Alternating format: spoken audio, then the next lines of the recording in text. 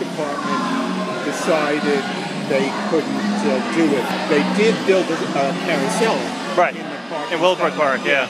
Because that